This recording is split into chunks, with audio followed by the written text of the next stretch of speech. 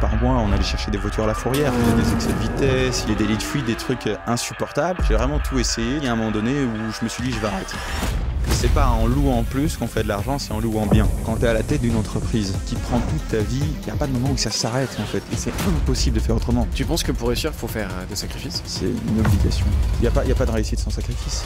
Même si tu es passionné par ce que tu fais, il y a un moment donné où tu pas envie de le faire. Tu as envie de te reposer, tu as envie de dormir, tu as envie de voir tes potes, tu as envie de faire un barbecue, tu as envie de partir en vacances, mais tu peux pas. Ou si tu pourrais, mais ça, ça impacterait ton développement. J'ai confiance en ce que je fais, mais j'ai surtout confiance en la vie. du moment où tu sais que tu peux rater, tu peux y aller, tu vois, tu peux prendre des décisions plus rapidement c'est plus grave de réfléchir pendant des mois et des mois à quelque chose que de le faire et le rater. Mais aussi de comprendre peut-être qu'on peut venir de n'importe où et de faire de grandes choses. Bienvenue sur High Value Entrepreneur, je suis Roger. Les entrepreneurs cool et performants dont tu penses qu'ils n'ont pas besoin d'aide sont ceux que j'accompagne. Ce podcast est produit par l'agence Tête de Tigre, l'agence de podcast audio et vidéo. Bon visionnage et bonne écoute. Salut Angèle. Salut Roger. Trop content de t'avoir. Euh, on se connaît un peu. On a déjà échangé, euh, toi et moi, ensemble, il y a quelques, quelques semaines de ça. Euh, j'ai découvert, moi, ce que tu faisais. c'est quand même un, domaine d'activité. À la base, moi, les voitures, c'est pas trop mon délire. En tout cas, c'est pas la chose qui me passionne. Par contre, quand on découvre ton univers, on voit ce que tu fais.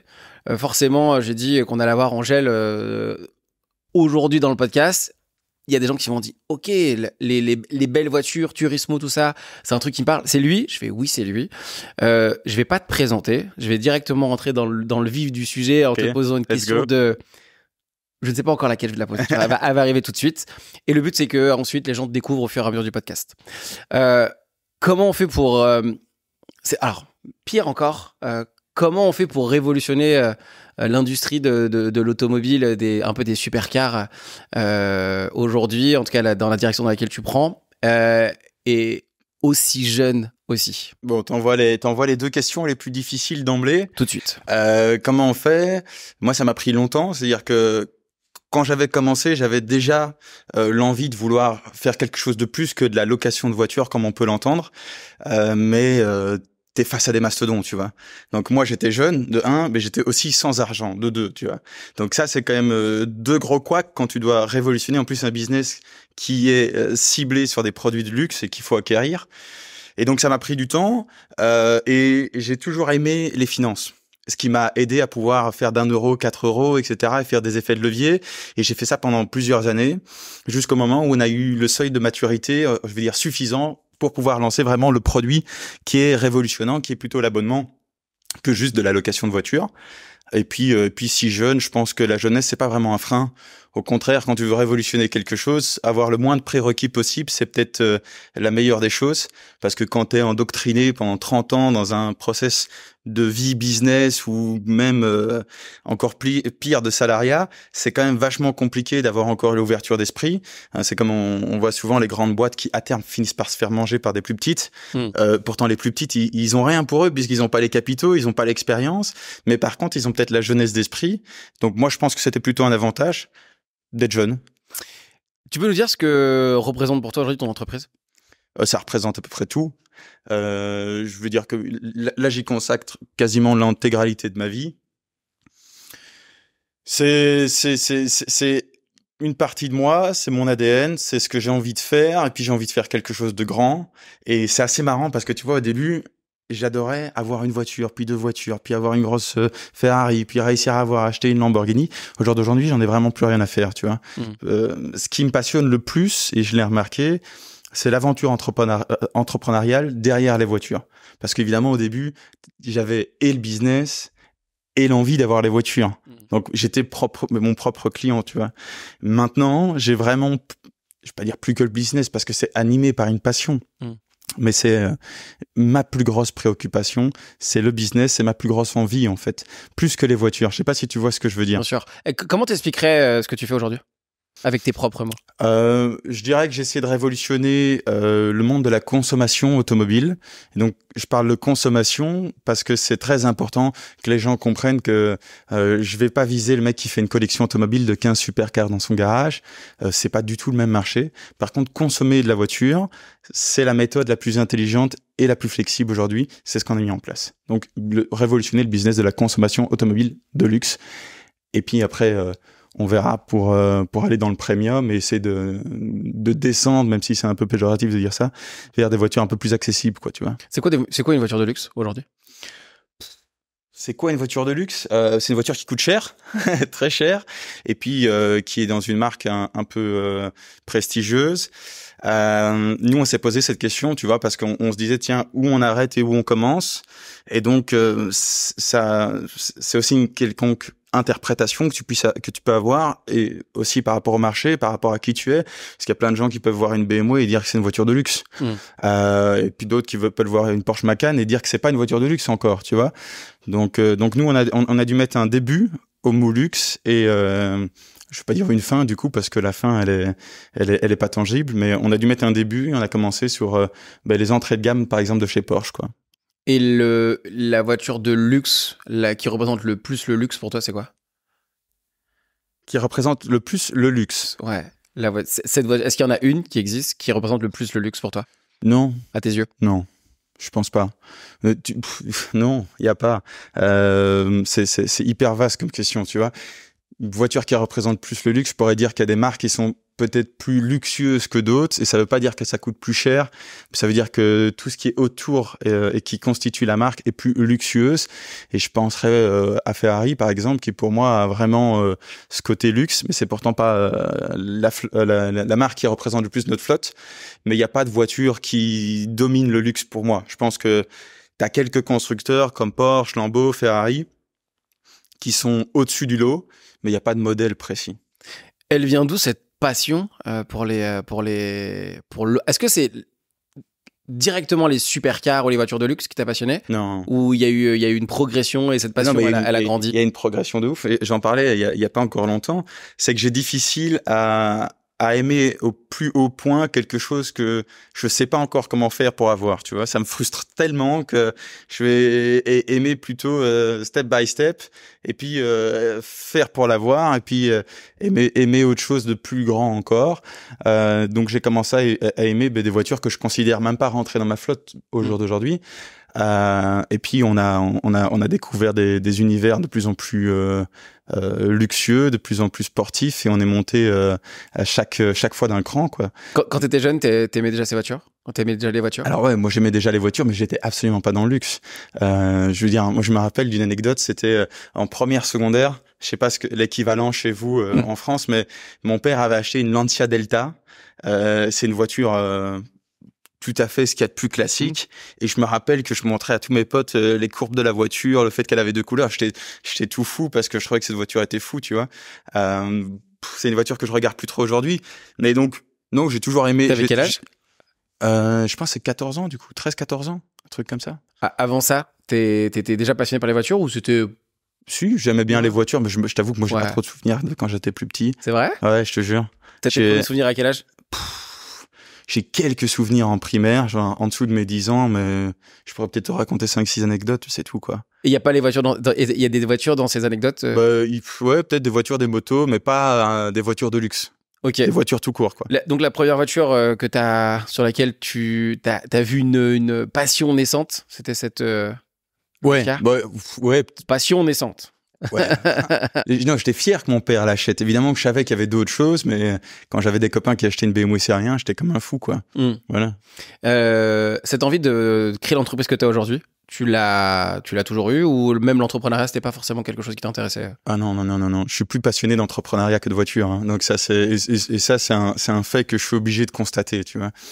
Euh, non, au départ j'étais dans l'immobilier et je m'étais acheté euh, des voitures pour moi, une Jaguar F-Type, c'est un coupé sportif de chez euh, Jaguar, et une BMW. Bref, anyway, j'ai revendu cette entreprise et euh, j'étais en train de regarder sur internet et puis je sais pas par quel hasard, je regarde location de voitures et je tombe sur un site mais des, qui a des années, des, des, années, il est vieux, il est moche. Et je vois, je me dis waouh leur flotte elle vaut vraiment plusieurs millions etc. C'est incroyable comment eux peuvent être si forts, si omniprésents, or que c'est pas ouf ce qu'ils mm. font, tu vois. Et, euh, je, me suis dit, ok, je vais tester. J'ai loué ma propre voiture.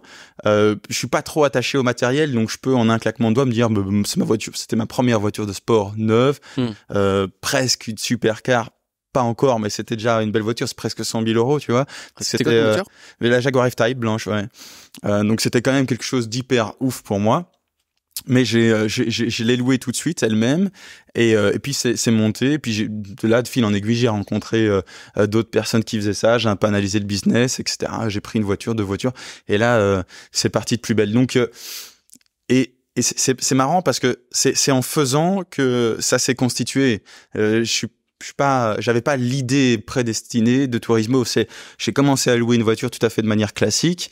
Puis j'ai, j'ai entendu euh, des centaines de clients me dire pourquoi ils louaient, qu'est-ce qu'ils avaient comme problème. Alors il y en a plein sur lesquels j'ai, j'ai mis de côté leurs problématiques et leurs, euh, raisons pour laquelle ils louaient, parce que c'était pas pour moi quelque chose qui avait besoin d'être révolutionné ou même de consacrer de l'énergie. Mais il y avait plein d'autres euh, problématiques euh, qui nécessitaient euh, d'être résolues euh, par euh, justement euh, l'abonnement, par un nouveau processus de consommation et c'est là-dessus que que j'ai essayé euh, d'aller et puis comme je te dis ben, ça m'a pris beaucoup de temps puisque il fallait il fallait commencer à à, à créer une flotte et puis à, à la faire grossir et tu sais euh, avec un million d'euros de voiture, t'étais nulle part. Tu peux rien Mm. faire. Dans le luxe, ça représente quoi Si cette voiture, tu peux pas constituer un abonnement automobile avec cette voiture. Ça a aucun sens. Et donc, euh, pour déjà arriver à un million d'euros, passer d'une voiture à 90 000 à un million d'euros, il y a quand même un fameux step à faire. Surtout que les premières années, tu t'imagines pas les désastres que j'ai eu. Hein. C'est des voitures volées, des voitures qui. On va, on va, on va en parler. Ah ouais Je- mais bien sûr qu'on va en parler. On a le temps d'en parler en plus. Euh, L'idée de Turismo, euh, le fait de cette création, euh, elle part de cette, de cette voiture, cette, de ce constat-là que tu vois avec la, où elle vient bien après. Non, elle part d'un d'un client. en gros, j'ai un mec qui me téléphone et euh, qui m'avait qui avait entendu parler de moi via via. Donc c'est en 2016. Et d'ailleurs, il est toujours client chez moi. Euh, il a failli acheter une voiture. Je lui dit non, mais attends, qu'est-ce que tu fais? Euh, On va directement mettre les choses au clair. Tu pars pas dans ce mode de consommation là. Tu vas bien rester ici. Euh, mais bref, je t'explique ça juste après. Et donc, il, il me téléphone et c'est un, un drôle de monsieur. C'est un chirurgien orthopédique. Euh, drôle de monsieur, mais dans le bon sens du terme.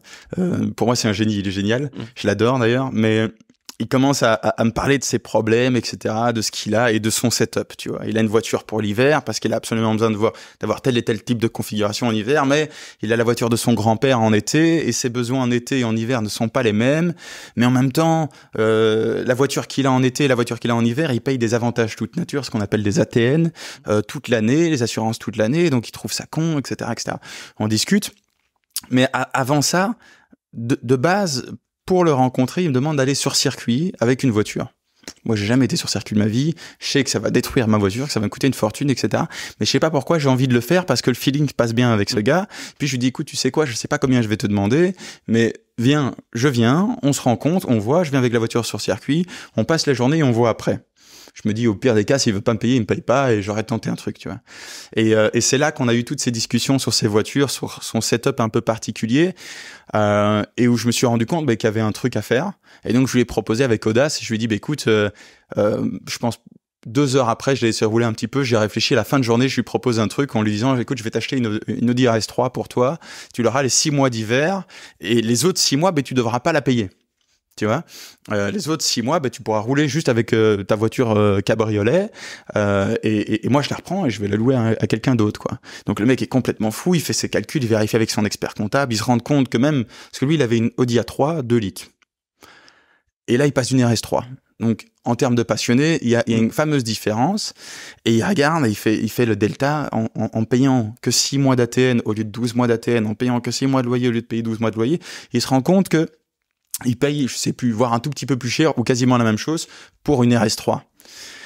Euh, et donc, bah, on a acheté cette, euh, cette fameuse RS3. Et euh, à l'époque, je demandais les six, six mois d'avance de loyer euh, bah, pour avoir le cash aussi, de pouvoir payer les premiers paiements, etc. Et je, mais je lui ai proposé ça sans savoir même où j'allais la financer, sans savoir même où j'allais l'assurer. Puis j'ai, j'ai, bah, je me suis démerdé du coup et, euh, je lui ai fourni une RS3. Et lui, ça a été un des premiers clients de la location classique, mais surtout le premier client où j'ai compris euh, qu'il y avait un besoin dans la flexibilité et qu'il n'y avait rien sur le marché qui permettait euh, d'avoir un produit dans la mobilité qui était flexible. Et donc voilà, ça c'était le, le, L'idée le de. Turismo commence à arriver là? L'idée de Turismo commence à arriver là. Alors, c'est euh, avant Turismo, ça s'appelait Gentleman and Car. Et, et ça, je l'appelais Gentleman Lease. C'est jamais vu le jour. Ça a toujours été en off-market. J'ai eu quelques clients comme ça Pourquoi en off-market Parce que je voulais vraiment, si au, au, départ, en tant qu'entrepreneur, tu dis, ouais, j'ai une idée révolutionnaire, si je la dis, il y a tout le monde qui va m'appliquer, etc. Ça arrive très souvent. et, et, et, puis, euh, et puis, donc, je l'ai gardé longtemps, longtemps euh, euh, caché. Et Tourismo, j'ai sorti cette entreprise après avoir fait 50 000 échecs différents dans Gentleman Car, avec justement euh, toutes les questions que tu me poseras sur les, les dégâts, les disparitions de voitures, etc. Et là, et là j'ai sorti Turismo au Luxembourg. Gentleman Car, maintenant, elle s'appelle Turismo Belgium et c'est l'entité belge de Turismo qui va s'occuper du développement sur le marché belge. Voilà. C'est quoi les. Allons sur les fails. Qu'est-ce qui, qu'est-ce qui se passe avant Turismo? Avec tout, tout, un tas de choses déjà. Euh, ben on va commencer à louer des voitures, euh, bon, sans, sans, connaître le business. Après, il n'y a pas grand monde au-dessus. C'est tout le temps des petites entités, des petites entreprises. T'as pas un leader où tu peux vraiment t'inspirer, etc. Et donc, tu fais tout un tas d'erreurs. Moi, j'ai loué à des gens à qui il fallait pas louer, donc qui faisaient par exemple, euh, je sais pas moi, ils prenaient la voiture un mois, ils avaient un forfait kilométrique de 2000 km, ils t'en faisaient 10 000 les 8000 km là, ben, toi, tu dois les payer. Si tu avais une indemnité de 50 centimes, ça fait 4000 euros. Lui, de l'autre côté, il disparaît, fini, au revoir, merci. Mm. Et il l'a remis en plus avec des petites griffes, des petits machins, etc., des petits coups, des jantes cassées. Et donc ça, ça c'est à chaque fois des, petits, euh, des petites sommes qu'on perdait, mais c'était pas spécialement très grave. Il y avait beaucoup de gens qui fumaient dans la voiture. Il y avait euh, beaucoup de problèmes avec la police. Euh, je pense quatre fois par mois, on allait chercher des voitures à la fourrière parce que les gens se garaient n'importe où, ils faisaient des excès de, de vitesse, ils, des délits de fuite, des trucs insupportables. Et donc c'était vraiment la clientèle qui était pas bien euh, choisie. Bon, on a on a pallié à ça par plein de choses par la suite. Puis on a eu des plus gros fails. Euh, ça a été par exemple euh, des détournements de voitures, donc des voitures qui ont disparu tout simplement. Le gros problème là, c'est que ça s'appelle un vol par détournement. Donc c'est de l'abus de confiance, c'est pas un vol. Et donc c'est dans les petites conditions particulières de l'assurance pour pas te rembourser. Donc là, tu dois rembourser une voiture que tu viens de prendre à crédit. Tu vois, on t'en fait une, puis on t'en fait une deuxième. C'est un peu compliqué. D'ailleurs, on, nous en avait volé une, on, l'avait retrouvée à Paris. Le mec, il avait fait un braquage en Belgique. C'est pas une blague. Il a été dépensé euh, l'argent pendant 4-5 jours sur les Champs-Élysées. Son coffre était rempli de Louis Vuitton, Dior, tout ce que tu veux. Euh, la voiture, il l'avait abîmée à droite, abîmée à gauche, la portière, les freins, enfin tout le bazar. Et, euh, et le mec, on l'a retrouvé. Il faisait une sieste sur euh, l'aire d'autoroute avec sa femme euh, dans la Maserati complètement abîmée et post allez, j'avais porté euh, plainte, donc elle est, elle était signalée dans l'espace Schengen. Et le mec a été retrouvé comme ça, quoi. Donc bon, l'autre elle a disparu, elle on l'a retrouvé. Évidemment, on a perdu euh, une histoire de 10 000 euros de réparation, mais c'est pas, c'est mieux ça que de, de, voir la voiture disparaître. Comment tu, comment on pallie à ce, ce genre de, de problème? Parce que là, pour le coup, autant ça, là il y a une valeur financière, il y a une valeur en termes de bah on, perd le véhicule, mais on perd aussi tout le projet qu'il y a derrière, qu'on était amené à, à, faire. Comment toi, comment toi tu vis ça? Comment, comment ben, tu vis ça? Tu as deux possibilités. Soit tu dis, bon, ben, je vais réduire la cadence pour savoir assumer la perte du véhicule et la payer pendant X années, ou soit tu doubles. Tu, vois tu, tu, tu, rejoues et tu dis, bon, bah, avec les bénéfices des trois voitures qu'on va racheter en plus, on va pouvoir euh, pas sentir trop passer ces dégâts. T'as choisi ça? J'ai toujours choisi ça, ouais, bon, ce qui m'a amené à avoir encore plus de problèmes, évidemment, tu vois, puisque j'avais encore plus de voitures. Euh, et, euh, et ça, ça, a grandi comme ça. Puis j'ai fait le tour de tous les problèmes qui étaient possibles et imaginables. J'ai essayé de franchiser l'entreprise, de donner euh, des voitures à des sous-loueurs. Enfin, j'ai vraiment tout essayé, tu vois. Et puis, il y a un moment donné où je me suis dit, je vais arrêter. Parce que la dernière goutte d'eau, ça a été euh, le Covid. Covid 2020, tout à l'arrêt, plus aucune location, tu as 40 000 euros de dépenses par mois, les banques qui arrêtent pas tes leasing parce que c'est des leasing, pas des crédits d'investissement, enfin bref, ça joue sur quelques petites subtilités. Et donc là, ça ça commence à faire vraiment mal, sans compter que tu as encore tes problèmes que tu essaies de résoudre. Et, euh, et, à ce moment-là, je vais tout vendre. Je vais tout vendre et surtout que je sais comment faire de l'argent parce que de l'autre côté, je fais de l'immobilier, investissement immobilier. Je, sais comment euh, faire de l'argent en consacrant un peu plus d'énergie à l'immobilier, mais c'est moins ce que j'aime, tu vois. Mmh. Euh, il y, a, y a moins de, il y a pas de passion dans l'immobilier. Bah, j'aime bien créer l'immobilier, mais quand c'est de l'immobilier pour de la rentabilité, il y a moins de passion. J'aimerais bien faire de l'immobilier de luxe. D'ailleurs, j'ai peut-être un, un, un, truc qui, qui, qui verra un, jour le, euh, non, Qui, qui, ouais, qui verra un jour le jour. Mais euh, dans ce que je faisais dans l'immobilier, non, moins de passion. Euh, mais puis je dis, je vais quand même tout vendre parce qu'à un moment donné, on, on vit avec l'argent. Ouais. Euh, et là, euh, je pars en vacances, j'explique mon. Pro... Ouais. Juste quand tu veux, quand tu veux vendre, quand tu veux vendre. Euh... Je vends les voitures. Ouais, au moment où tu veux, ouais, où tu veux vendre, où tu, où tu veux stopper entre guillemets, c'est ça. Hein ouais. Tu veux, tu veux qu'est-ce que tu cherches? Tu veux fuir quelque chose? Tu veux euh, non, euh, je fouille pas, je veux juste euh, éteindre le feu, c'est-à-dire qu'on vend les voitures. Et puis la, la chance qu'on a avec ce business, c'est qu'on a énormément de bénéfices cachés, puisque si tu payes une voiture pendant deux ans, ben, elle a quand même encore une valeur. Donc en vendant, on va récupérer de l'argent, on va remettre euh, euh, à zéro les comptes et puis on va continuer. Donc l'idée n'a jamais été. D'ailleurs, cette boîte existe toujours. hein. Mm. Euh, Donc c'est une boîte qui a été constituée en 2015 ou 2016, Gentleman Car. Elle a toujours été là. Donc elle a, on a- on n'a jamais fui. On a juste un moment donné où on se dit, on peut plus faire x2 parce qu'il y a plus de Ouais. possibilités à faire x2. Donc euh, à ce moment-là, tu dois sortir de table, quoi. Et donc en fait, ça m'a permis de prendre du recul euh, et me dire que je voulais retenter une xème fois, mais en ayant pris du recul, parce que toutes les autres fois, j'ai pas pris du recul. On a tapé, j'ai continué à avancer sans réfléchir. Alors ça a peut-être du bon, mais il fallait peut-être sortir Une un limite. petit peu. euh, voilà, il fallait sortir du jeu, réanalyser, et c'est là que Tourismo a vu le jour euh, au Luxembourg. Et, Turismo, le, fait de le, créer, euh, t'as quelle certitude à ce moment-là? Euh, déjà, j'ai j'ai, euh, la certitude de vouloir faire du luxe, plus juste de la location. Une certitude absolue de vouloir me démarcher de tout ce qui se fait euh, dans la location de voiture. Donc là, on parle toujours de location. L'abonnement, il, il, il est créé en 2019. Donc le leasing part-time, multicar, etc., c'était en 2016. En 2019, j'étais déjà en train de créer Tourismo, l'abonnement, et j'allais utiliser ma flotte Gentleman Car.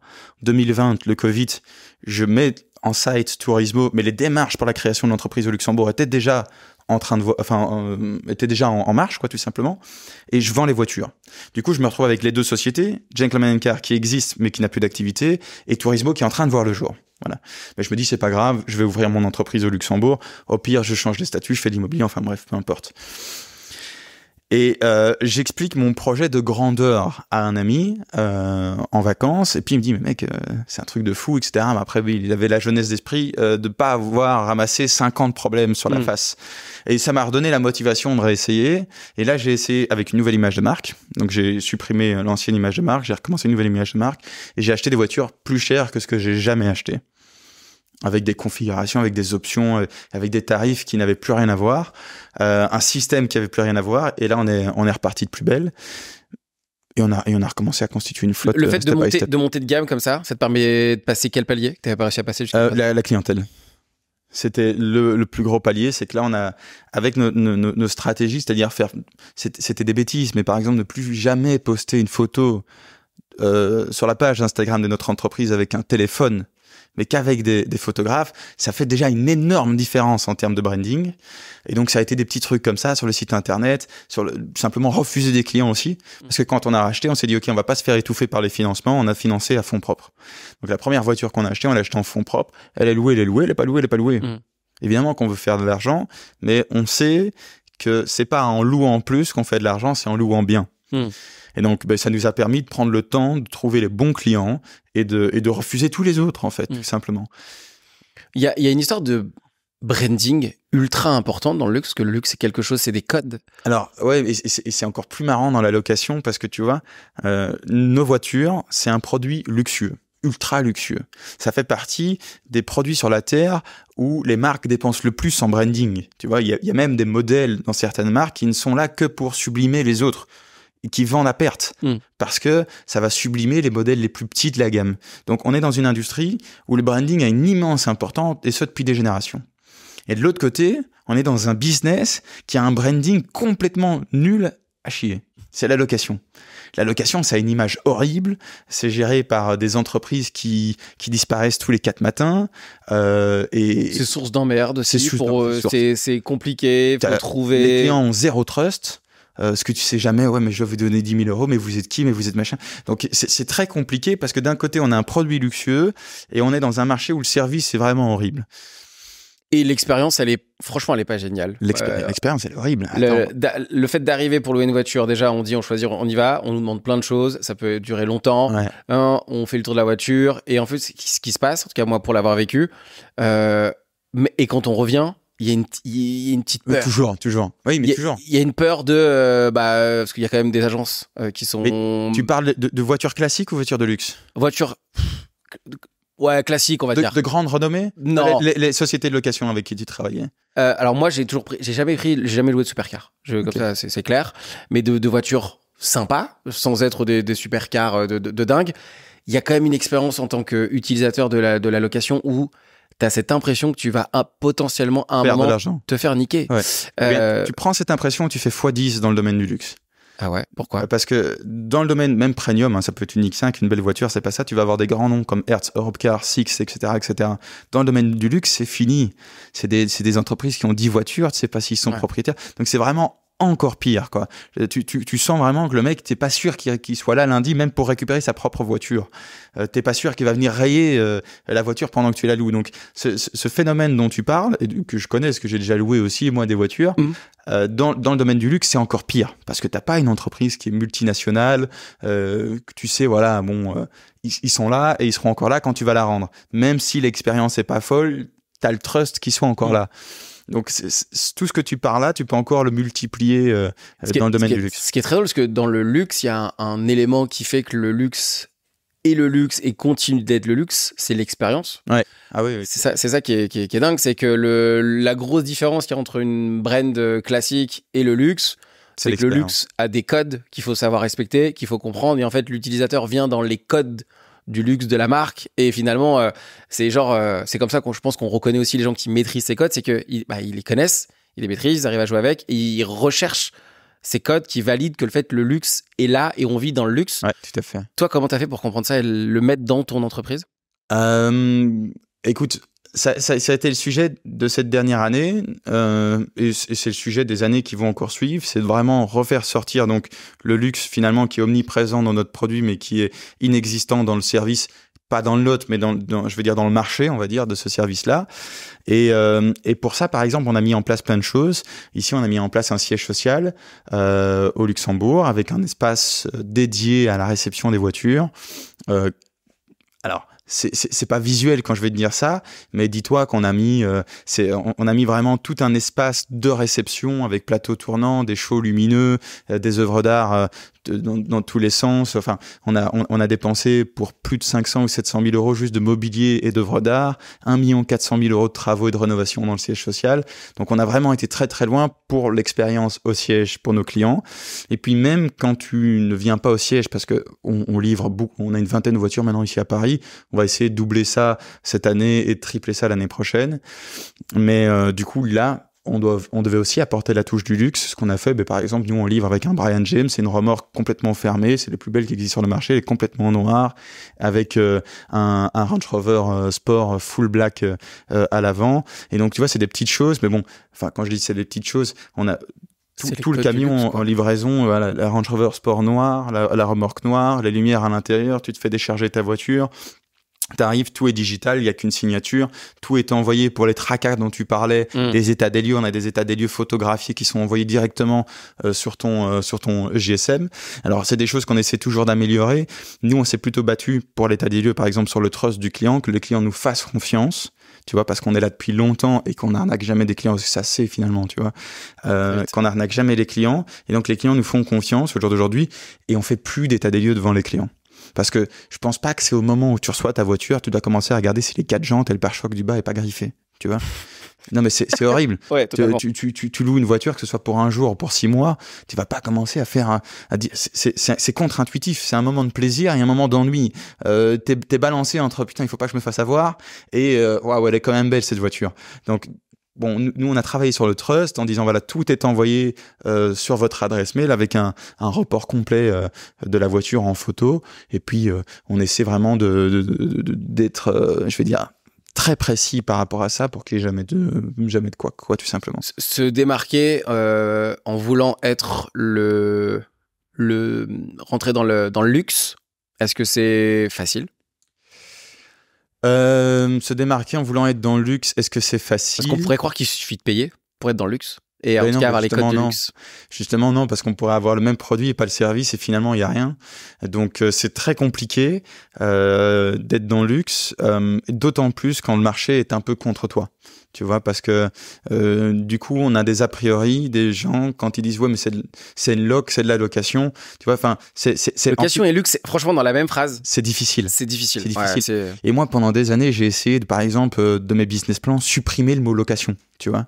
Et je supprimais partout, partout, partout pour pour pas qu'il apparaisse parce que je me disais c'est pas euh, ça va pas, ça colle pas, tu vois. Euh, maintenant, je, préfère améliorer ce pot, tu vois, et le rendre sexy. C'est plus compliqué encore parce que le faire disparaître, on sait pas le faire disparaître à propre à proprement parler. On fait de la location de voiture via un abonnement premium et luxueux, etc. Mais c'est de la location de voiture. Sur, la, sur une facture, finalement, tu as location du au du, mm. tu vois. Donc euh, donc on l'a on, on l'a accepté, mais ça a été compliqué parce que t'as vraiment la pensée des gens euh, qui est qui est déjà négative en disant euh, tu parles à n'importe qui d'une location de voiture ils vont dire ah quoi tu loues quoi pour un mariage pour euh, franchement un anniversaire. c'est ce que tout le monde pense. C'est ce que tout le monde pense. Rapidement en tout cas. mais mais c'est pire que ça. Il y a des marques énormes comme Porsche.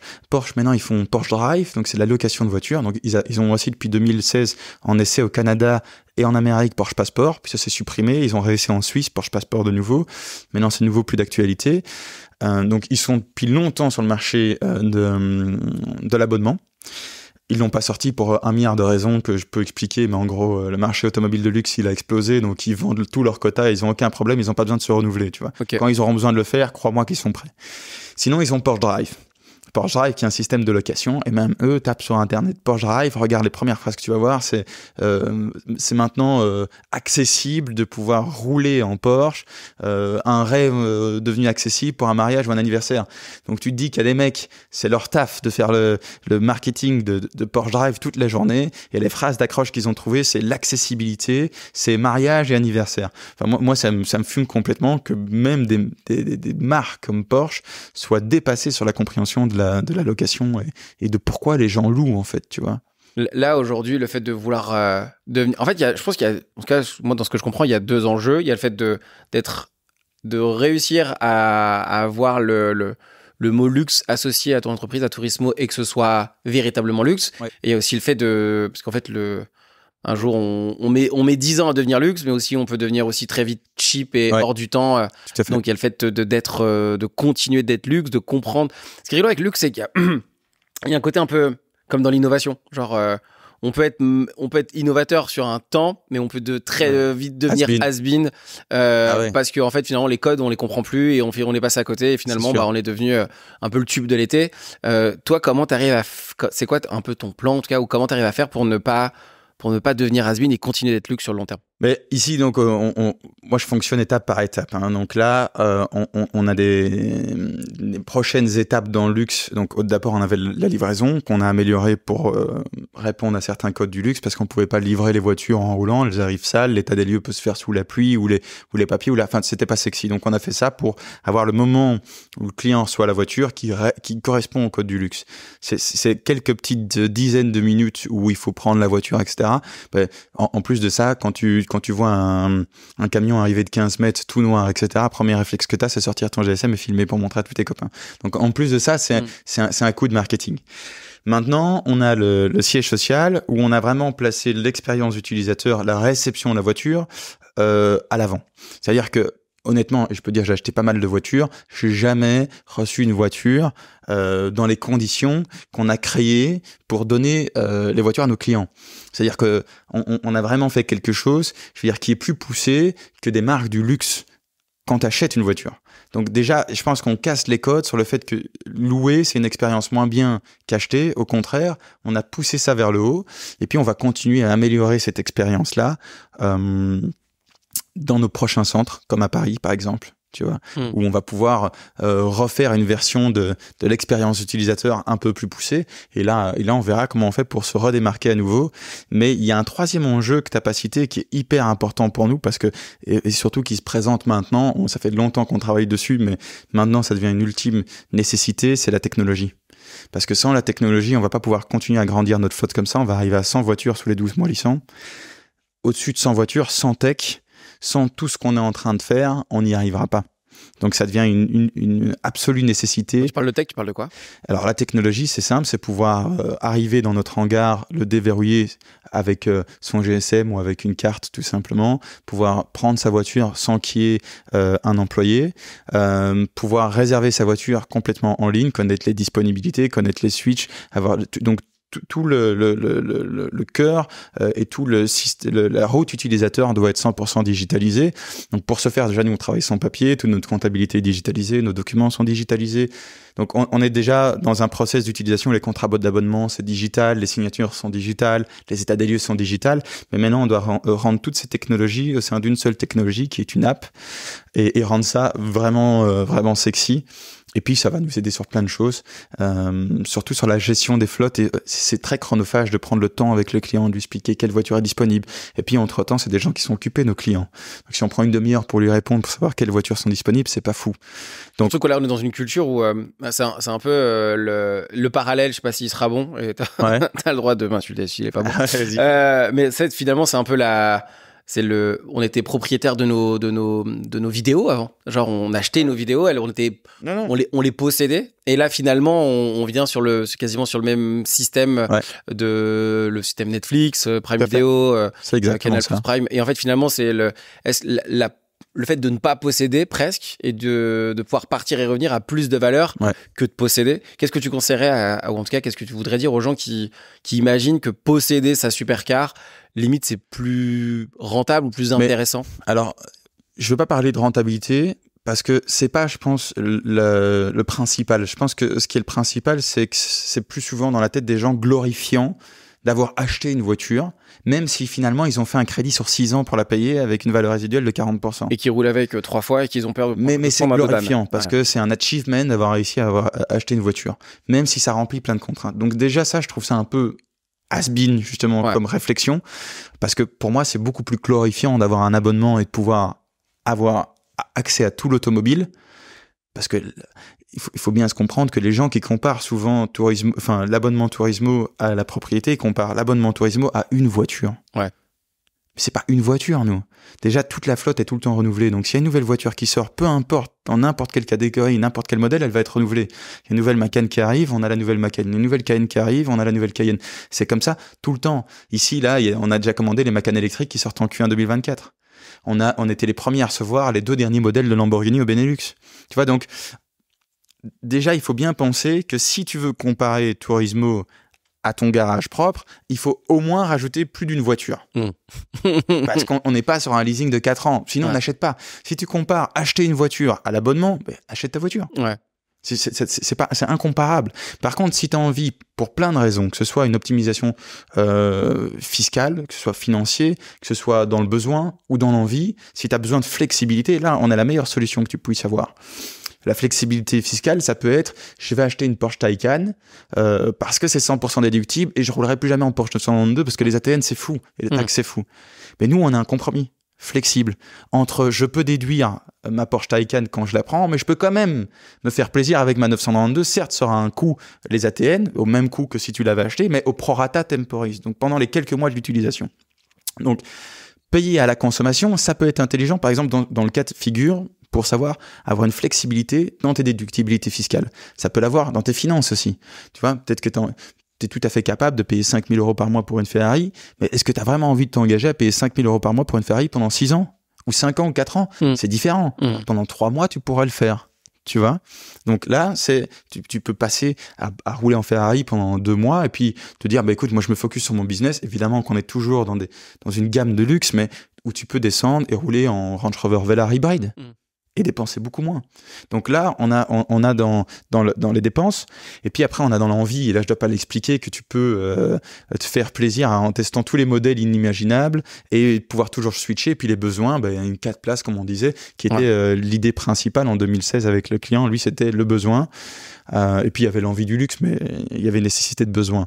En fait, ce qui est révolutionnaire, c'est le fait que on, on, a les codes du luxe et on a le, on a la, aussi la possibilité de changer d'avis tout en restant dans le luxe dans ce cas dans le luxe que nous on imagine. Tu parlais de prendre une super euh, car euh, un peu sportive et d'un seul coup de prendre un Range Rover parce qu'évidemment on veut partir euh, un week-end ou qu'on est c'est juillet août et qu'on veut faire de la route et qu'on veut avoir un Range Rover pour être vachement plus c'est là que c'est révolutionnaire.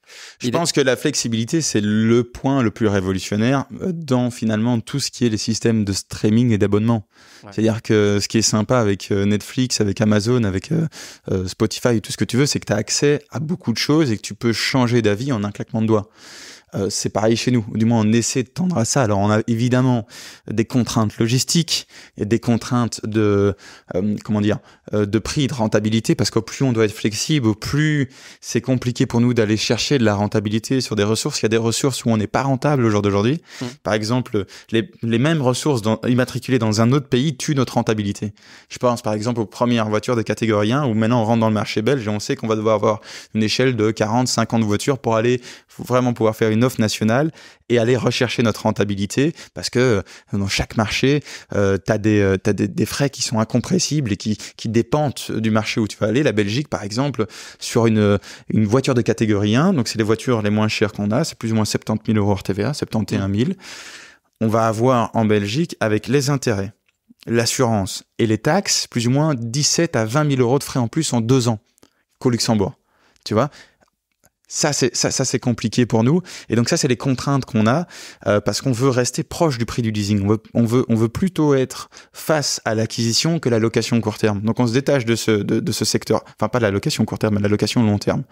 On va se détacher de ça et on va vraiment aller chercher des gens qui pourraient être propriétaires d'une voiture ou de deux voitures ou de trois voitures. Et on a de plus en plus de personnes qui suppriment leur bon de commande et passent euh, via nous. Là, aujourd'hui, euh, le fait d'être dans, dans, le luxe, il y a quand même une grosse barrière à l'entrée. Est-ce que tout le monde peut venir chez toi ou la barrière, elle est. Je, je pense à l'idée, je pense, euh, parce que quand tu me parles de ça, il y a la grosse différence entre, par exemple, les, dans les applications de rencontres, il y a, ouais. il y a différents, il y a différents marchés qui n'est pas du tout ton marché. Non, non. Euh, mais il y, a, y a, y a Tinder, il y a, des, il y a des choses comme ça. Et il y a une application, je sais pas si tu la connais, moi j'ai découvert il y a pas très longtemps, qui s'appelle Raya. Non.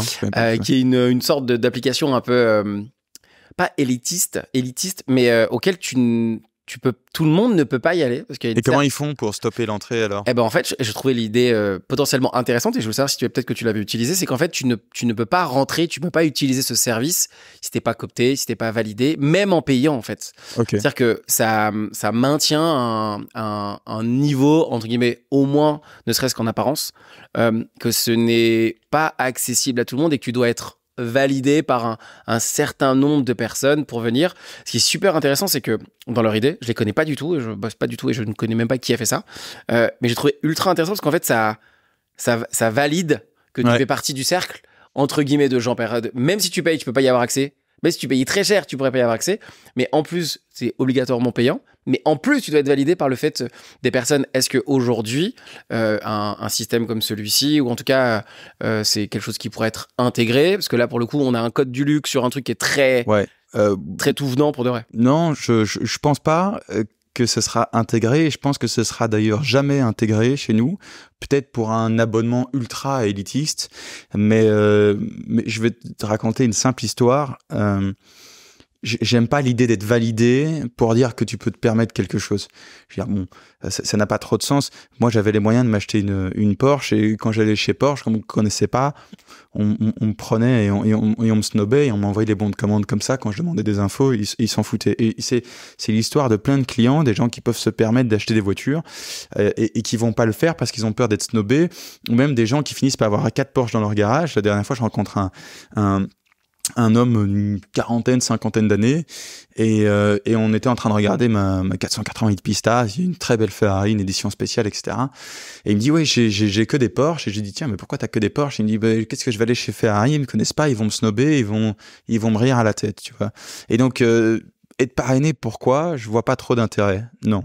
Est-ce est que ça peut devenir euh, une idée d'investissement? Parce que toi qui es aussi de faire de l'argent avec de l'argent, limite ça pourrait devenir un sujet d'investissement euh, pour un propriétaire qui sait pas, ou quelqu'un qui veut mettre de l'argent, qui va acheter une voiture, il achète chez toi, euh, l'investissement grandit et finalement euh, il est propriétaire de sa voiture, l'investissement grandit, finalement la... Bah écoute, si, si euh, on arriverait à faire ça, euh, bon, alors il y, y, a plein de problématiques, mais on n'est pas là pour parler des problématiques. Parlons là des.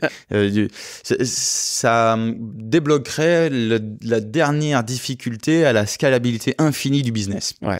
C'est-à-dire que si j'ai plus de problème d'acquisition ni de financement, alors on peut y aller. Hmm. Euh, mais on peut y aller vraiment. On, on, va pas faire 300% d'expansion par an, mais on va en faire 3000. Euh, donc, dans le meilleur des mondes, ça pourrait être génial. Dans la réalité, c'est compliqué parce que les véhicules, ils doivent être euh, storés, prêts, ils doivent être entretenus, la pneumatique, elle doit être tout le temps gérée parfaitement, etc. Et si c'est un, un, un, client externe qui va avoir ça, on ne sera pas maintenir les codes du luxe. On va se retrouver avec un mec qui va recevoir une voiture où il doit changer les pneus 15 jours plus tard parce que le propriétaire, il avait pas fait attention, tu vois. Donc, il y a, y, a, y a, un tas de données qui est très compliqué. Nous, on a un pôle juste logistique et opérationnel qui s'occupe de ça et qui sont surmenés, tu vois. Mmh. Et donc, j'ai déjà pensé plein de fois parce que tu te doutes bien que euh, le, le, marché est immense pour nous. C'est-à-dire que, dis-toi un petit peu que les études parlent de 40 milliards pour le marché automobile par abonnement d'ici 2030 en Europe. Donc c'est immense, tu vois. C'est ouais, ouais, vraiment immense. On a des demandes en veux-tu, en voilà. Mais d'un autre côté, on doit à chaque fois qu'on fait rentrer un client, on doit acheter presque une ressource où tous les 1,5 abonnés, on doit acheter une voiture au minimum à 70 000 euros. Donc là, c'est vraiment la difficulté nous qu'on a. Euh, c'est elle est, elle est derrière le financement, derrière la, la levée d'argent et derrière l'acquisition de matériel. Donc ça pourrait être euh, une bonne piste que j'ai déjà réfléchi pas mal de fois, mais que j'arrive pas à trouver la solution. Euh, bah moi, je me dis, imaginons dans les investissements, là pour le coup, on est dans du dans du on serait vraiment dans le time sharing avec. Là, je, je sais pas dans quoi investir. Je connais ta boîte. Je sais que j'achète une voiture j'achète un truc à 200 000, 300 000 euros, j'en sais rien. Elle est, elle, elle est dedans, elle est, elle va être entretenue, elle va être gérée, mon investissement, il va grandir. Je rentre dans un parc qui va peut-être, je, je sais pas, j'ai trouvé, je trouvais l'idée intéressante. Je me dis, je la partage comme ça. Non, ça, non. Vaut, ça, ça, vaut ce que ça vaut, mais je me dis, si j'ai 200 000 euros et que je vais investir dans quelque chose, tu sais, tu me je parlais, grandir. Tu me parlais des barrières à l'entrée tout à l'heure. Ouais. Dans tous les leasing, dans tous les contrats de leasing, tu as euh, une, une, une, une contrainte que tu ne peux pas sous-louer le matériel. Donc déjà là, tu as une barrière énorme. C'est-à-dire que va demander à la BNP Paribas euh, de supprimer leur clause euh, euh, où, ils n'acceptent pas que tu sous-loues le matériel. Tu vois? Donc si tu veux arriver à faire ce qu'on fait, tu es obligé d'arriver à supprimer cette clause. Dans tous les contrats d'assurance, c'est pareil, tu vois? Donc tu as un tas de barrières à l'entrée et ce serait encore plus compliqué que chaque personne qui puisse acheter une voiture puisse la, la sous-louer. Ce serait très compliqué. Par contre, laisser rentrer les gens qui ont 200 000, 300 000 à investir, ou même moins dans le tourisme et dans l'expansion, ça c'est quelque chose sur lequel on pourrait travailler. Mais pas à l'unité de voiture.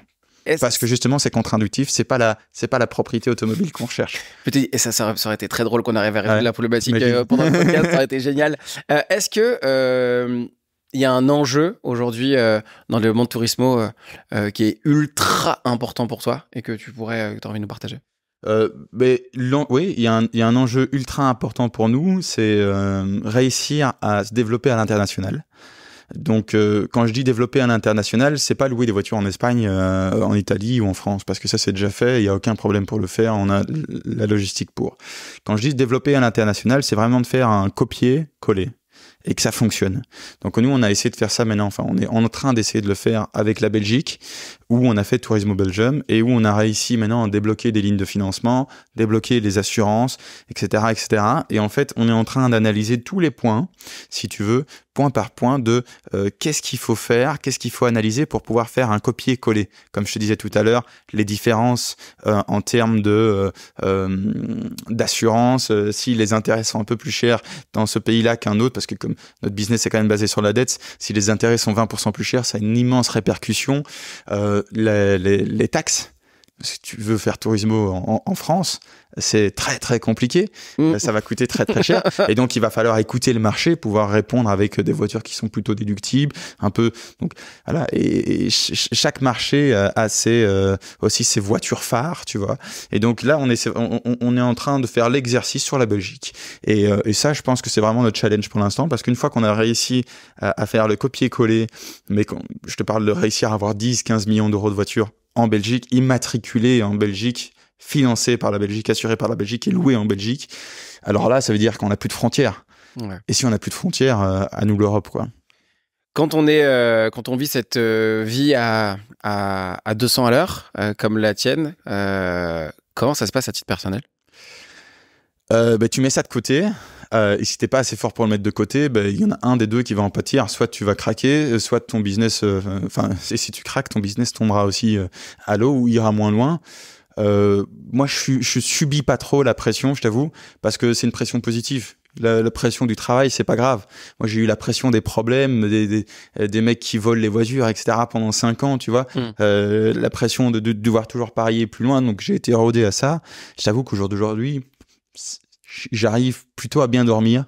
Euh, T'es en couple aujourd'hui? Ouais, je suis marié. Ça ouais, fait huit ans qu'on est ensemble. Je crois que vous travaillez ensemble. Et on travaille ensemble. Ouais. comment c'est possible euh, de, de, de, faire tout ça en travaillant ensemble bah, là, on est avec sa femme vous avez, je, Non, vous avez des enfants, non? Non, non, on n'a pas d'enfants. Ça aurait été, franchement, ça aurait ouais, été. Ça aurait été bah, ça on a un chien, un chat, c'est pas mal quand même. C'est pas mal. Ouais. C'est pas pareil, mais c'est pas mal.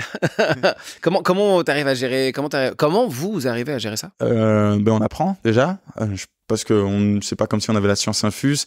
Ça fait un an ou un peu moins d'un an qu'elle travaille. Enfin non, ça va faire un an travaille, euh, qu'on travaille à deux. Elle a toujours été proche, mais on n'était pas ensemble dans le même bureau et dans les mêmes problématiques.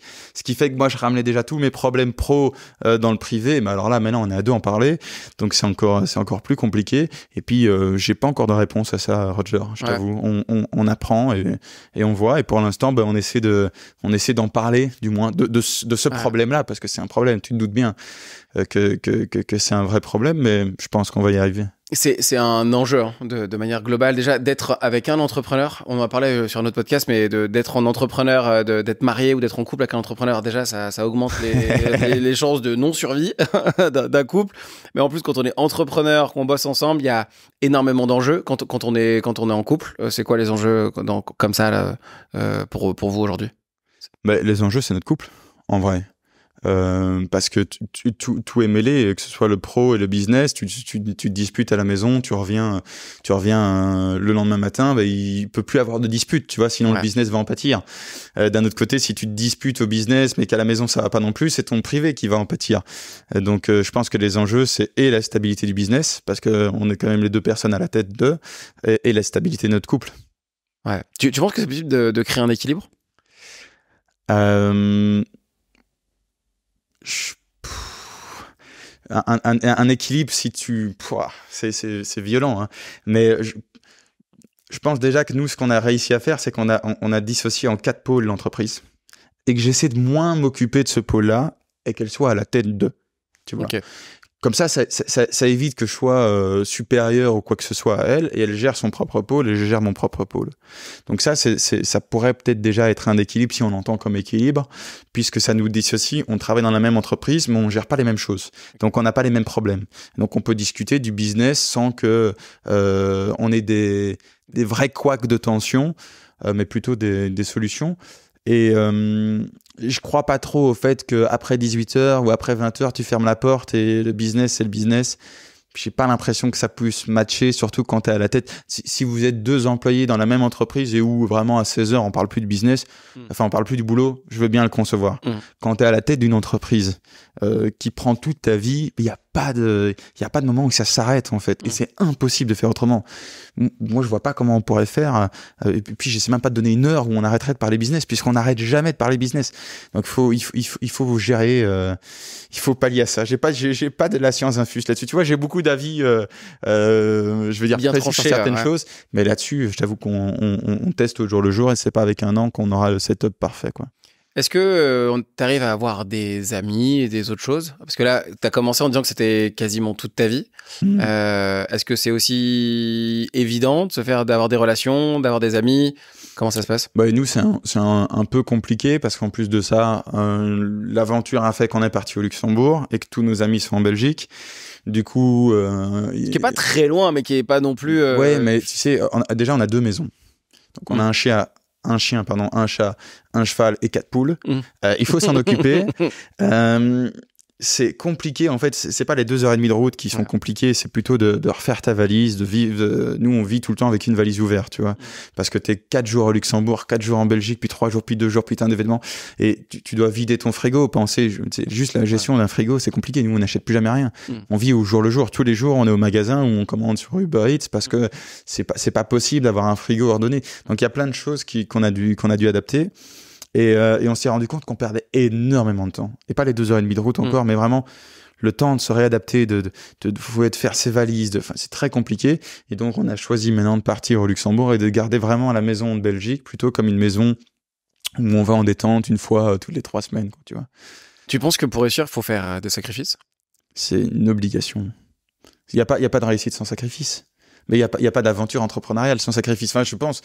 Euh, peut-être qu'il y en a et ce serait ouf de, le savoir, mais. Euh, mais, même quand on est passionné, même quand on est passionné, euh, c'est considéré comme un sacrifice. Euh, même quand t'es passionné, ouais, il y a, y a, des moments où tu dois sacrifier, ouais, c'est sûr. Parce que même si t'es passionné par ce que tu fais, il y a un moment donné où t'as pas envie de le faire. T'as envie de te reposer, t'as envie de dormir, t'as envie de voir tes potes, t'as envie de faire un barbecue, t'as envie de partir en vacances, mais tu peux pas. Ou si tu pourrais, mais ça, ça impacterait ton développement. Et donc ça, ça pourrait être considéré comme un sacrifice, même si ce que t'aimes ce que tu fais, tu vois. Euh, tu, tu, tu dois mettre le travail en avant tout le temps. Et donc ça, c'est un sacrifice pour moi. T'as quel âge déjà, Angèle? 28. Ouais. Euh, à 28 ans, est-ce qu'on a, qu'on a déjà des gros regrets? J'ai aucun regret. Aucun? Ouais, j'ai plein d'échecs, mais aucun regret. Je, je t'assure que j'ai aucun regret. Parce que je, je, pense vraiment que tous les échecs te mènent à, à, finalement à tes réussites. Et je suis bien à ma vie là maintenant. On ça fait sept ans que j'essaie et on est en train de réussir, donc c'est quand même cool. Euh, je pense qu'on a déjà réussi de belles choses, tu vois. Euh, y a, y a, on, s'associe aux marques les plus luxueuses au monde. Quand je dis s'associer, on va, on va, voilà, on va organiser des, soirées chez nous à Tourismo en face des marques les plus prestigieuses au monde. Donc c'est au-dessus de, enfin c'est vraiment dans, dans, dans, l'hypercar. Donc on a, on a déjà réussi à faire plein de choses, mais, euh, mais j'ai un objectif où pour moi Tourismo elle va, va changer le monde de la consommation de luxe dans l'échelle européenne. Donc même si on a fait énormément, je considère que c'est une goutte d'eau dans, dans un immense océan. C'est quoi ton rapport à la, la confiance? Parce que là, quand, quand on te voit, euh, je pense qu'il y a une particularité de tous les gens que j'ai interviewés euh, ces derniers temps, mais comme on, on voit que tu sais où tu veux aller. Euh, les échecs, en tout cas les, les, les, échecs que tu as ou les rebondissements, tu arrives à rebondir euh, dessus, tu trouves une solution, euh, tu investis plus. tu vois, genre, on, on pourrait croire que tu es archi confiant. Est-ce que c'est vrai? Est-ce que c'est vrai? Est-ce que je suis archi confiant? Je pense que j'ai confiance en ce que je fais, mais j'ai surtout confiance en la vie. Et, du moment où tu sais que tu peux rater, bah, tu, peux y aller. Tu vois, tu peux prendre des décisions plus rapidement. Je pense que c'est plus grave de réfléchir pendant des mois et des mois à quelque chose que de le faire et de rater. Et bon, la, la confiance n'arrive pas en un jour, tu vois. Mais quand tu as fait une série d'échecs et que tu penses que c'est mauvais et que ça et c'est des choses voilà ça aurait jamais dû arriver. Et là les regrets se créent. Mais si tu continues à essayer et qu'à la fin tu réussis ça veut dire que tes regrets ils, t'ont quand même mené quelque part. Mm. mais ça peut être dans plein de choses. Dans le sport tu peux réussir, rater quelque chose 50 fois et puis le réussir. Euh, essaie de faire 300 pompes, pompes maintenant tu vas pas y arriver. Euh, fais 300 pompes euh, essaie de faire 300 pompes pendant euh, je sais pas moi un an. À la fin tu y arriveras. Mais euh, quand tu auras réussi ça se cassera, cachera derrière 300 échecs. Mm. Et c'est comme ça partout dans la vie. Donc je sais pas si la confiance elle est liée à ça. Euh, moi je pense que je peux rater. Et du coup ouais j'ai confiance en ce que je fais parce que je suis conscient que je peux rater. Comment s'est construite ta confiance? Euh, Ben en essayant. Est-ce qu'il est qu'il y, est y, a des endroits, euh, est-ce qu'il y a des moments de ta vie où tu t'es dit, euh, des moments culminants qui me permettent de, de, de, de, bâtir ma confiance ou qui font qu'aujourd'hui, euh, j'ai confiance en moi ou j'ai de la résilience aussi parce qu'il y, a pas mal de résilience dans, ce que C'est que de la résilience. Euh, j'ai pas toujours été sur l'analyse, tu vois. Ça fait que quelques temps, je commence à parler de tout ça. J'ai plutôt été sur sur faire les choses et avancer. Et donc euh, la, la, la, confiance, elle, elle, elle, elle a toujours été là, mais elle n'était pas prédominante dans les échecs, puisque là, c'est plutôt les zones de doute. Même tu continues à faire, mais tu doutes de tout ce que tu fais. Et puis quand c'est quand tu réussis que tu, tu ta confiance elle sublime et tu peux dire que c'est de la confiance. Alors qu'avant tu aurais pu dire que c'était de la folie tu aurais pu dire mais t'es mais t'es fou mais t'as déjà vu tout ce que t'as perdu pourquoi tu continues tu... donc euh, confiance folie euh, échec réussite il y a tout qui peut se mêler un petit peu je pense. L'émotion que tu vis le plus toi en tant qu'entrepreneur euh... c'est laquelle? En ce moment par exemple c'est laquelle l'émotion que tu vis le plus? je, je suis pas très émotif hein. Donc, euh, je sais pas trop ce que. pas très émotif, ça veut dire que tu tu t'écoutes pas trop d'émotions, tu les comprends pas, trop. Je sais pas, j'ai pas trop d'émotions, je pense. Euh, je suis assez froid, tu vois. Donc, euh, je, mais ce qui me permet d'être, de, de, de, pouvoir avoir des hauts et des bas et de rester plus ou moins le même. Lucide aussi, c'est ce qui permet d'avoir. C'est-à-dire que là aujourd'hui, jamais en colère, ce genre d'émotion-là. Euh, non, il y, a, la colère, il y a la joie, il y, a la, surprise. Bah, tu sais quoi, l'émotion que j'ai le plus, mais je ne saurais pas décrire ce que c'est, c'est la frustration face aux choses qui n'avancent pas. C'est-à-dire que je sais tellement là où je veux aller que quand j'arrive pas à y aller, ça m'énerve. L'impatience. Euh, ouais, peut-être. Ouais, je, je, je, suis très impatient. Euh, et donc, euh, mais, mais derrière cette impatience, il, comme je sais que les choses se passent par, euh, par break, break, par break, step by step, tu peux le dire euh, de toutes les manières que, que tu veux, c'est que du coup, cette impatience, ben, j'en fais une force en me disant, OK, euh, il faut que ça avance, il faut qu'on taffe, il faut qu'on trouve une solution. Donc, ça pourrait être l'impatience, du coup, tu penses, cette émotion? Je sais pas, je. C'est. Ouais, je suis peut-être impatient. Là, est-ce que tu es comme ça, petit? Ouais, j'ai jamais été très patient, mais du coup, l'impatience. On l'a trouvé. Ça, vient, ça vient d'où cette impatience? Je sais pas, j'ai toujours voulu avoir les choses vite, faire les choses vite, y arriver vite. Pourquoi? Je sais pas. je sais pas. On va rentrer dans le philosophique, là tu me perds. Euh, en vrai, non, je, je, je, je, sais pas. Je, parce que si je sais que je sais y arriver, ben je, je, veux y arriver le plus rapidement possible. Quoi. À l'école aussi? Genre du système scolaire, ça c'était un truc euh, Non, j'étais out du truc. Ouais. Ouais. rien à faire. Complet. Ah non, je te jure, aucun intérêt. Aucun intérêt parce que t'étais pas, pas adapté ou, le pas adapté à toi ou toi pas adapté à l'école ou pas du ouais, bah, ou bah, pas les, bah, les, deux du coup moi j'étais pas adapté à, à, l'école et l'école du coup était pas adapté à moi. Enfin c'était pas euh, c'était pas quelque chose qui, qui fonctionnait avec moi. D'ailleurs j'ai essayé de faire des des, des, des, études plus poussées en euh, gestion euh, ingénieur de gestion commerciale un truc comme ça. J'ai tenu trois semaines tu vois. Ça me saoulait mais c'est impossible pour moi. Qu'est-ce que qu'est-ce que t'es Qu'est-ce que tes parents pensent de ton, de, de, de, ton aventure et de ta vie aujourd'hui? Bah, ils comprennent pas, euh, ils sont choqués et euh, c'est l'incompréhension ah totale de ce qu'on fait. Pourquoi? Mais euh, parce que moi, mon père, mais, il m'a toujours dit, t'es ouvrier, tu resteras fils d'ouvrier. Et dès que j'avais des envies euh, de luxe, des envies, voilà, un peu, il m'a toujours voulu me remettre dans la boîte, tu vois. Pas qu'il me voulait du mal, hein. Ça parle pas d'une mauvaise intention, loin de là. Mais euh, il, il a jamais apprécié ça, tu vois, chez moi. Et donc, il y a eu vraiment des, des moments où je parlais plus à ma famille à cause de ça, parce que j'avais une vie complètement différente, pas complètement différente, mais des, ambitions complètement différentes et qui, qui me comprenaient juste pas, tu vois. Donc maintenant, bon, il y a eu tous les hauts, les bas, etc. Maintenant, on est quand même dans un dans une dans une réussite. Et donc il y a, plus trop ça. Ils savent que je que gère. Ça fait 10 ans que, que j'ai des boîtes tu vois. Donc euh, j'ai 28 ans mais j'ai eu ma première mm. boîte à euh, l'âge 18 19 ans.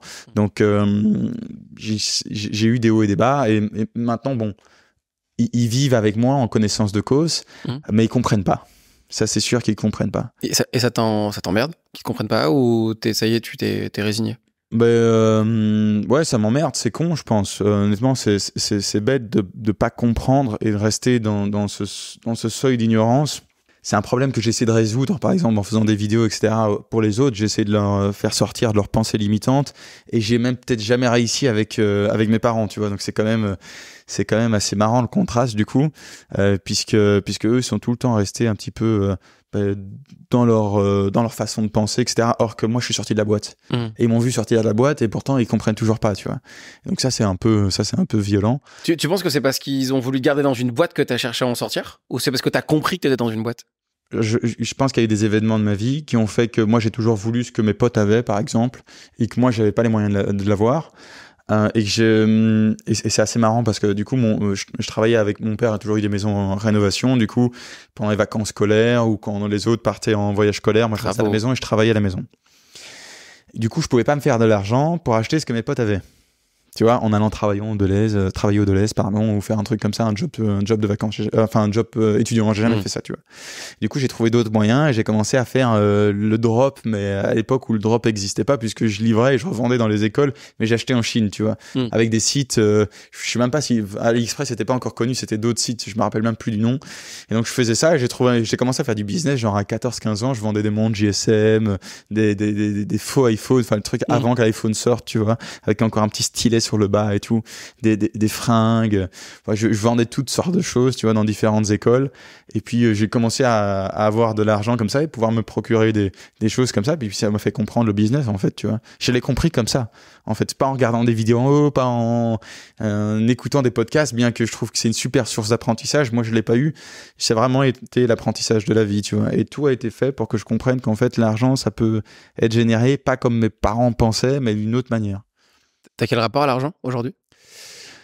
Ben, je pense que j'ai un bon rapport à l'argent. Euh, je déteste les gens euh, qui euh, ne supportent pas parler d'argent ou l'argent c'est tabou, etc. Parce que je trouve que c'est de l'hypocrisie et justement de, c'est genre c'est que tu as un problème à l'argent quand tu n'arrives pas à en parler. Pour moi puisque tout le monde se lève le, matin pour l'argent à part peut-être euh, bah, des gens qui ont déjà de l'argent du coup mm. ils se lèvent pour une autre cause mais quand t'as pas d'argent tu vas quand même travailler pour l'argent et tu fais tout avec l'argent tu vois. Tu pars en vacances avec l'argent tu rends les gens proches de toi heureux avec l'argent tu peux régler des problématiques euh, que ce soit écologique ou plein d'autres choses avec l'argent. Donc euh, donc moi j'adore l'argent et euh, j'ai plus de problème à en dépenser. Et tu, tu, vois, avant, quand je faisais des gros paiements et tout, j'étais en stress. Je mm. me disais, tout cet argent que j'ai perdu, c'est un truc de ouf. Alors que maintenant, bah, ça rentre, ça va, euh, ça, ça, descend, ça remonte. C'est volatile, quoi, tu vois. Et la volatilité à l'argent, elle te fait euh, diminuer toute pression que tu puisses avoir aussi avec le business. Et du coup, ça te donne plus de confiance encore en toi, hein, puisque tu te doutes moins, puisque tu sais que tu peux perdre l'argent, tu vas en recréer. C'est rien, rien de grave, en fait, tu vois. Mm. On arrive sur la fin du podcast. Euh, qu'est-ce que tu aimerais que les gens euh, retiennent de notre échange? Euh, ben, on, a, on a élaboré plein de choses. Donc ben, déjà euh, ma vision euh, de l'automobile et de Turismo et de la consommation automobile, ça c'est une chose, mais aussi de comprendre peut-être qu'on peut venir de n'importe où et de faire de grandes choses. Je pense que ça c'est le truc dans lequel je suis le plus fier parce que je viens vraiment de nulle part et j'ai fait des, des, grandes choses et je te parle pas en termes de, de gains, mais en termes d'achievement de, de, ce qui est important pour toi. donc ça pour moi c'est c'est hyper important et, et, et je pense que c'est ce que j'ai envie de mettre en avant, que tout le monde peut faire ce qu'il a envie de faire dans ce monde, quoi. Qu'est-ce que je peux te souhaiter pour la suite? Euh, Tu peux me souhaiter euh, une immense levée de fonds avec Turismo et un développement euh, à l'Europe très rapide. bah écoute, que ton vœu soit exaucé. merci. merci. beaucoup, Angèle. C'était hyper agréable. On aurait pu discuter pendant très très longtemps, je pense. La bonne nouvelle, c'est que l'after podcast est juste après. Ok, super. Continuer. Merci beaucoup, Angèle, en tout cas. Je te remercie. Ciao, Roger.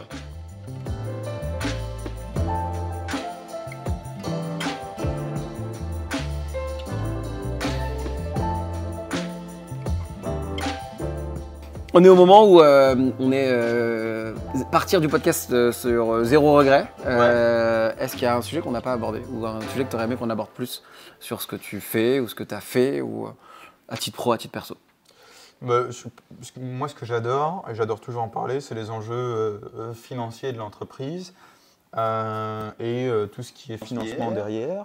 maintenant, c'est un sujet qui nécessite d'être vraiment compris et creusé du coup pour être compris.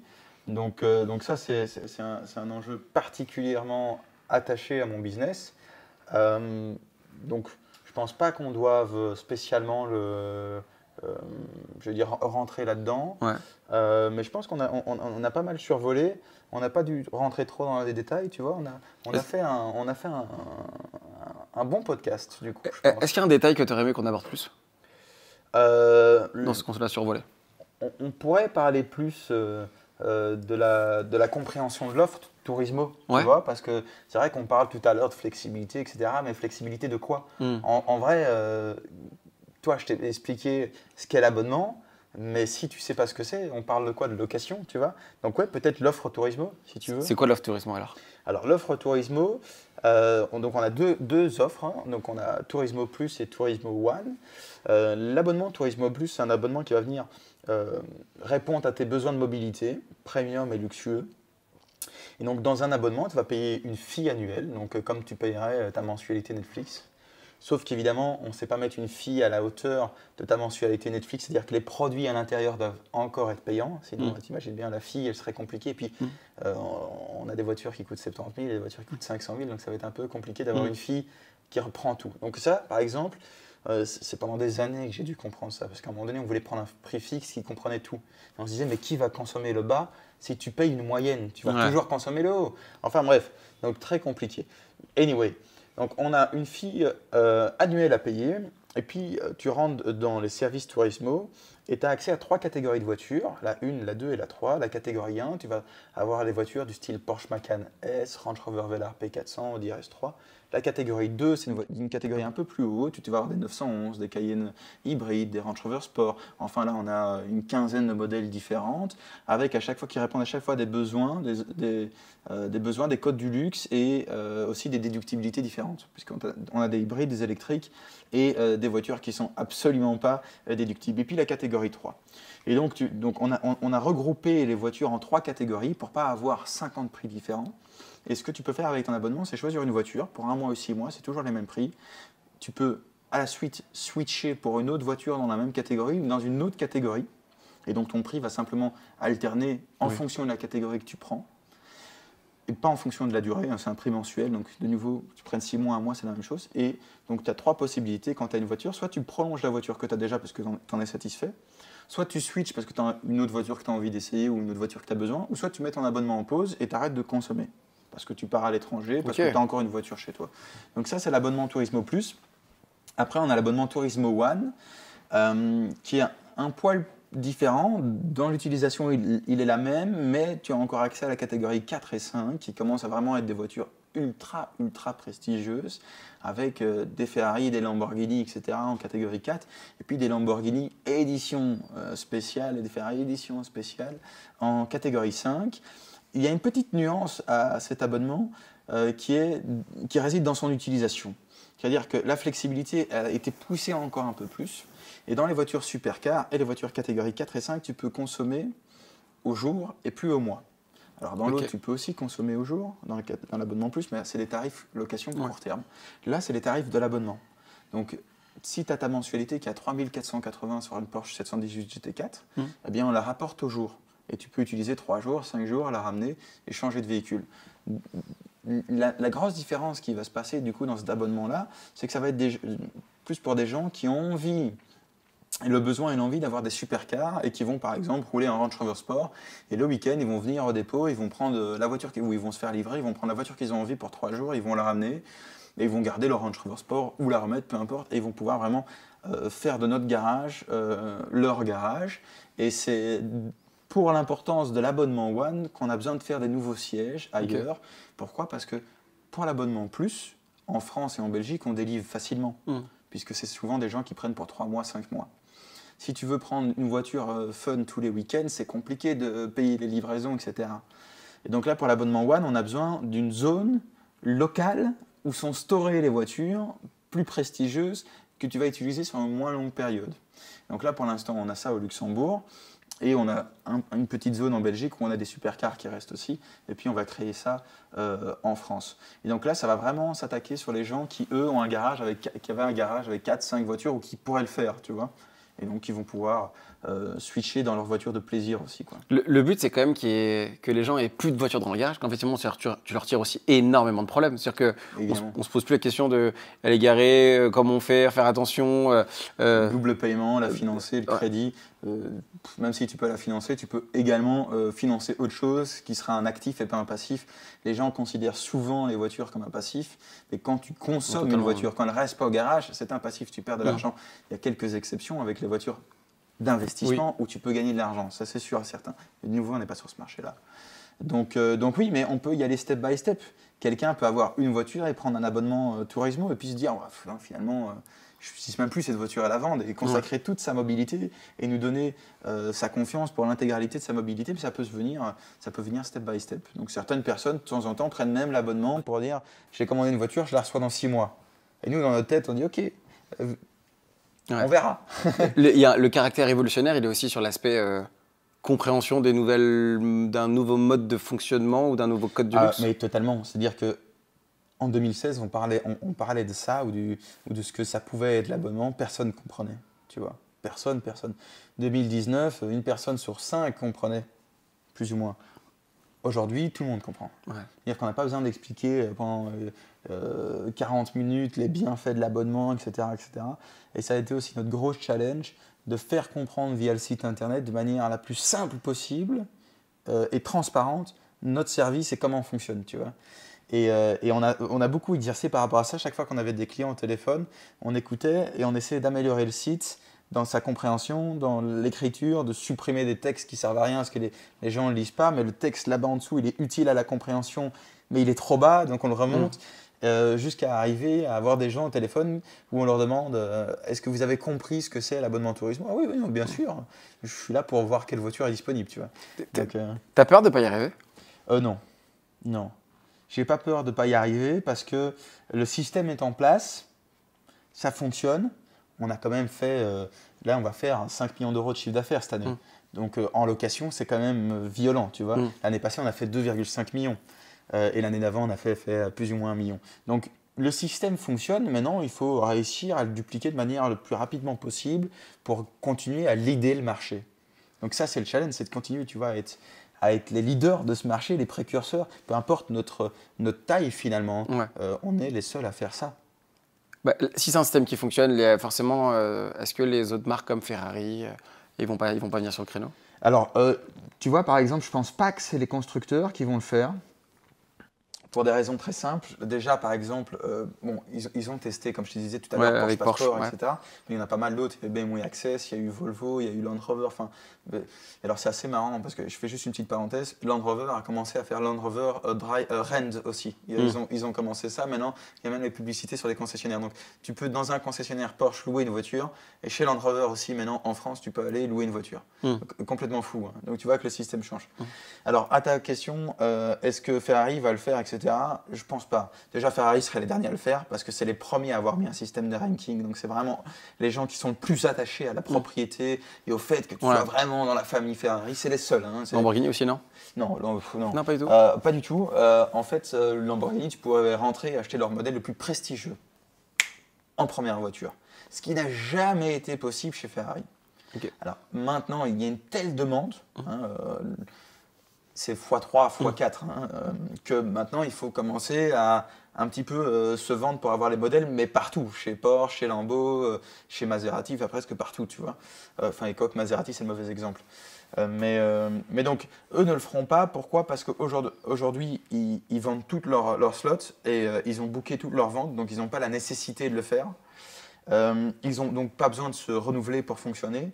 Je pense que les gens qui vont perdre finalement des parts de marché, ce n'est pas les constructeurs, c'est les leasers, pas les banques, puisque mmh. les banques, nous, on va continuer devoir les financer, mais plutôt les systèmes de leasing opérationnel et peut-être les systèmes de location longue durée.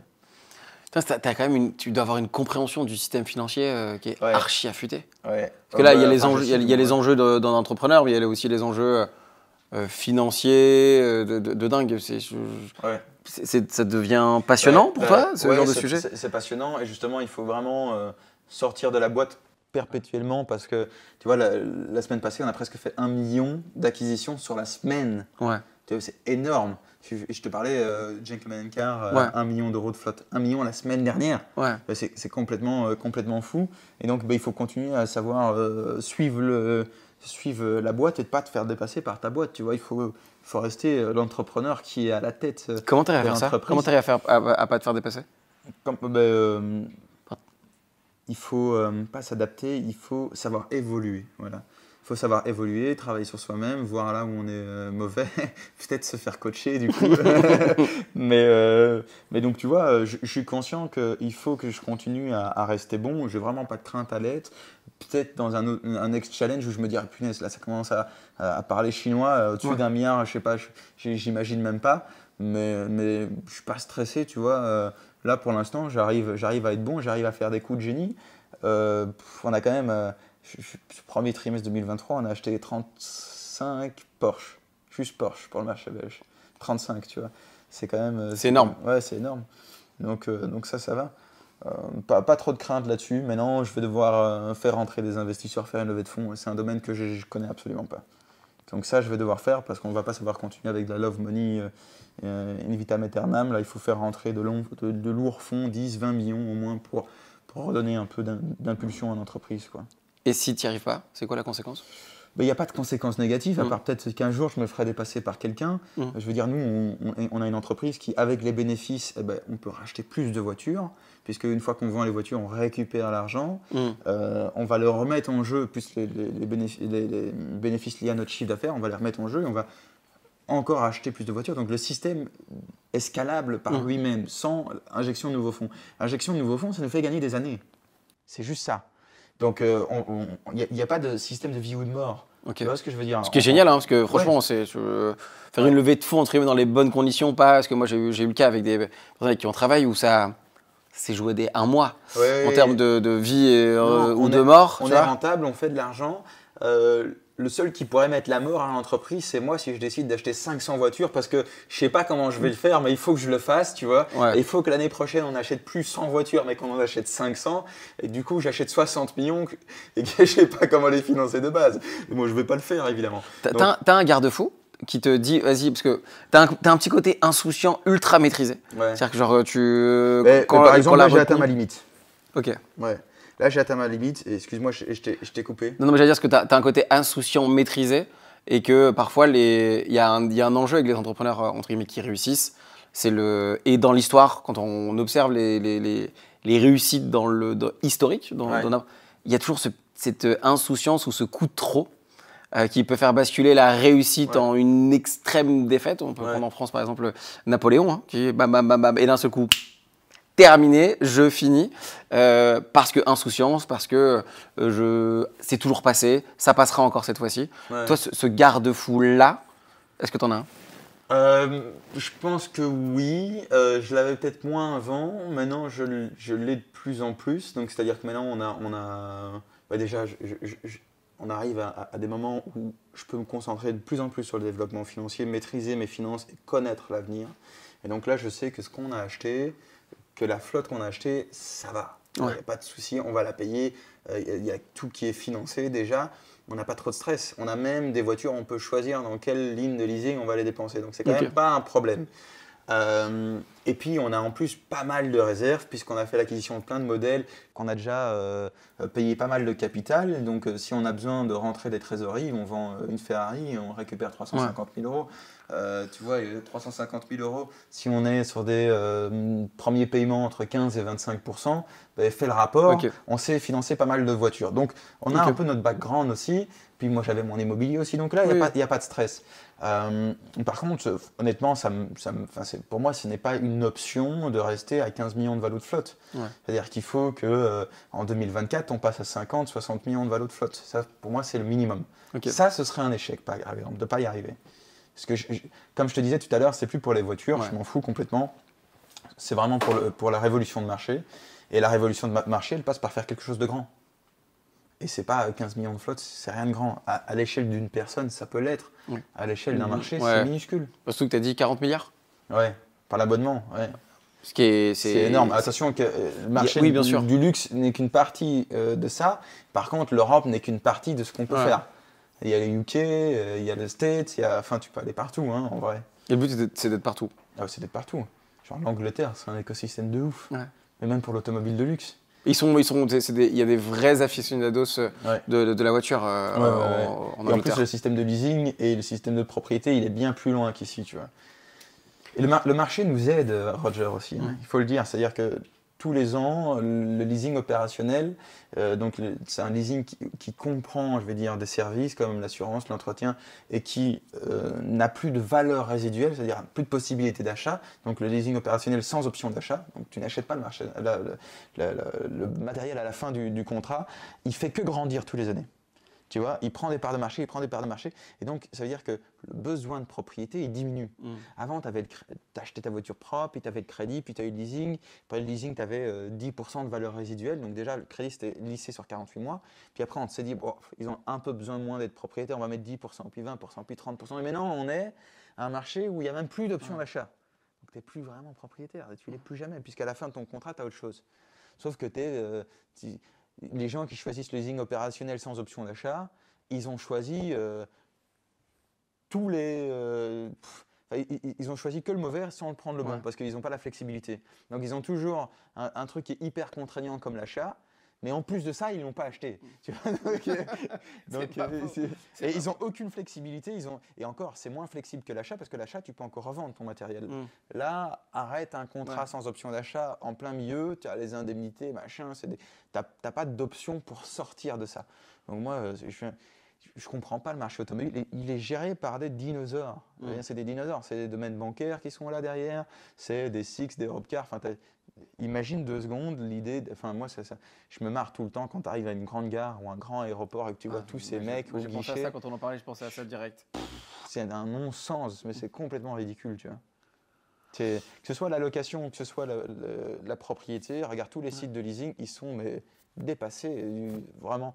Donc ça, le marché nous, nous, pousse quand même vers le haut, tu vois. Euh, est-ce qu'il y a un truc que, que, tu veux, sur lequel tu veux terminer? Euh, Non. Angèle Est-ce qu'on a, on a, on a tout évoqué Je suis content d'être venu et ça m'a fait plaisir Très de content que tu sois venu aussi. Donc quand tu vas partir et que tu vas rentrer euh, dans la voiture avec Tarek, qui est dans le qui a fait. Ouais, est-ce que, est-ce que, est-ce que pas de regret, rien de. Non, pas de regret. Et puis s'il y a d'autres choses, on fera peut-être un épisode 2 et tu viendras avec ta team au Luxembourg, j'espère, pour tourner quelques podcasts si vous voulez. Ça pourrait être une très bien centralisé. Il y a, la gare, il y a tout le bazar. Pourquoi pas aller voir des entrepreneurs en plus au Luxembourg, franchement, avec, avec grand plaisir. Plus, euh, tu, on, fera, on fera ça dans tes locaux. Hein, avec grand plaisir. Merci beaucoup. Allez, allez c'est le, moment du, le moment du câlin. Merci beaucoup. J'ai le micro qui suit. voilà, hop. Merci beaucoup. Ciao, Ça fait plaisir. Au plaisir. plaisir. Ciao, ciao. Merci d'avoir regardé cet épisode. N'oublie pas de t'abonner, de liker et de commenter. Merci et on se retrouve au prochain épisode.